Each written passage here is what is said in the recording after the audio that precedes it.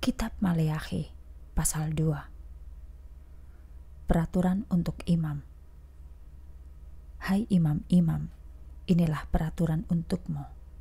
Dengarkanlah aku. Perhatikan hal-hal yang aku katakan. Muliakan namaku. Jika kamu tidak menghormati namaku, hal-hal buruk akan terjadi atasmu. Kamu akan mengatakan berkat, namun itu menjadi kutukan Aku membuat hal-hal buruk terjadi karena kamu tidak menghormati namaku. Demikian firman Tuhan yang Maha Kuasa.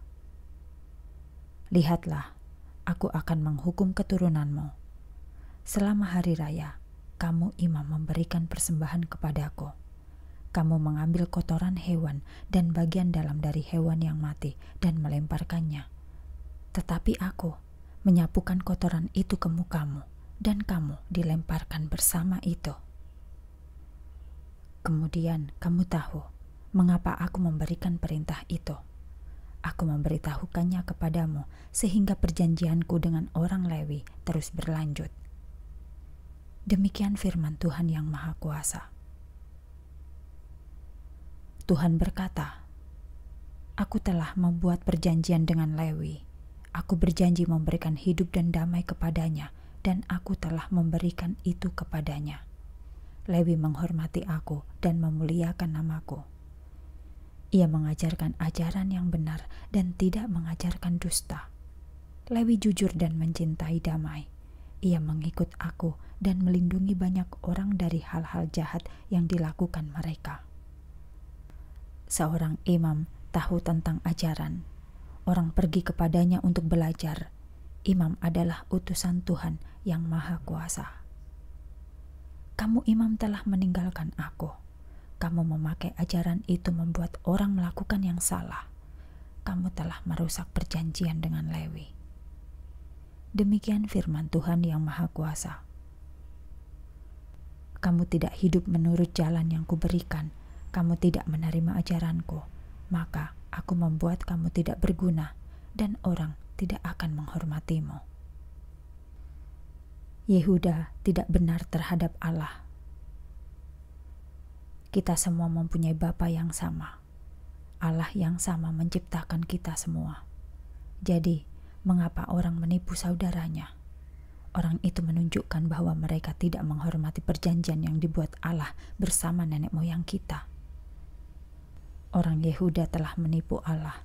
Orang di Israel dan Yerusalem melakukan hal yang menjijikkan. Allah mencintai bait Tuhan, tetapi orang Yehuda tidak menghormati bait kudus Tuhan. Orang-orang Yehuda menyembah dewa orang asing. Tuhan akan memindahkan mereka dari keluarga Yehuda. Mereka mungkin membawa pemberian kepada Tuhan, tetapi itu tidak menolong.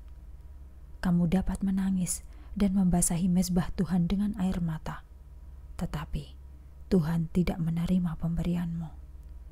Ia tidak berkenan dengan pemberian yang kamu bawa kepadanya.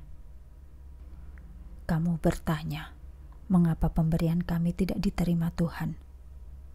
Hal itu terjadi karena Tuhan melihat kejahatan yang kamu lakukan. Itulah saksi terhadap kamu. Ia melihat kamu mengkhianati istri yang kamu kawini semasih kamu muda dan dia menjadi pendampingmu yang terdekat. Dengan dia, engkau telah membuat perjanjian nikah. Allah menginginkan suami dan istri menjadi satu daging dan satu roh, maka mereka mempunyai anak-anak yang kudus. Jadi, jagalah roh kesatuan. Jangan khianati istrimu. Dialah istrimu sejak kamu masih muda. Tuhan Allah orang Israel mengatakan, Aku membenci perceraian dan aku membenci hal-hal yang kejam yang dilakukan orang terhadap istrinya. Jadi, jagalah roh kesatuan. Jangan khianati istrimu. Demikian firman Tuhan yang Maha Kuasa. Hari khusus penghakiman kamu telah mengajarkan hal-hal yang salah, dan itu membuat Tuhan sangat sedih. Orang melakukan yang jahat, tetapi kamu mengatakan bahwa itu berkenan bagi Tuhan, dan Dia menerima hal itu. Dan kamu mengajarkan bahwa Allah tidak akan menghukum orang yang melakukan yang jahat.